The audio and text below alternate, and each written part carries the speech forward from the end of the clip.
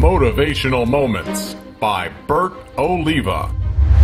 Welcome back to another motivational moment. Short term goals and long term goals. Most people work on their long term goals, and what happens is that some of these goals are so far ahead, you kind of get either frustrated or you get off the focus because you don't get what we've been conditioned for, which is immediate gratification. We need to get some sort of gratification now in order to keep going. That is where short term goals come in. See, what I want you to do is I want you to create three short term goals, three things that will get you closer to that larger goal. So for the next 21 days, you're going to work on these three little goals. You're going to feel so accomplished and so motivated because you know what? You know that you're getting closer to where it is that you want to go and also you're getting immediate gratification. Give it a shot. Three little goals that you can do in the next 21 days that will actually change your life and get you closer to where it is that you want to go. Give me your feedback, comment, let me know what you think. Also,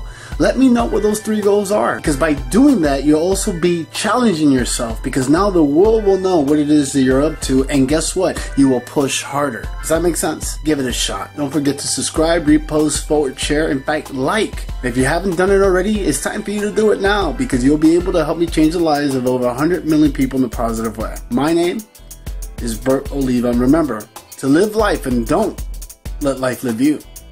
I'll see you tomorrow. Stay up to date with all of Bert Oliva's motivational moments by liking his Facebook page. And be sure to follow him on Twitter.